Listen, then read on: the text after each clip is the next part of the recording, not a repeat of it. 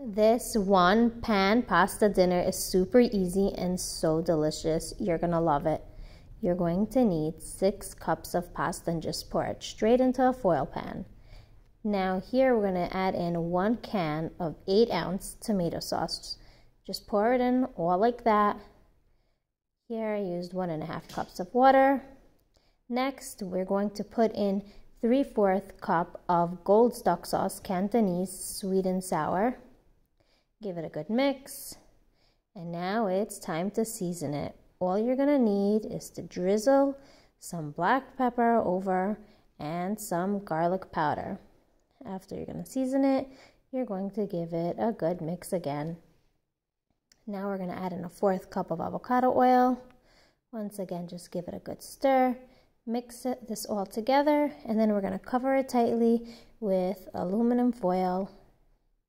We're going to place it into a preheated oven of 425 degrees Fahrenheit for 30 minutes. After 30 minutes, we're going to give it a gentle, good mix and cover it again and place it in the oven for another 15 minutes. Now enjoy this delicious dinner.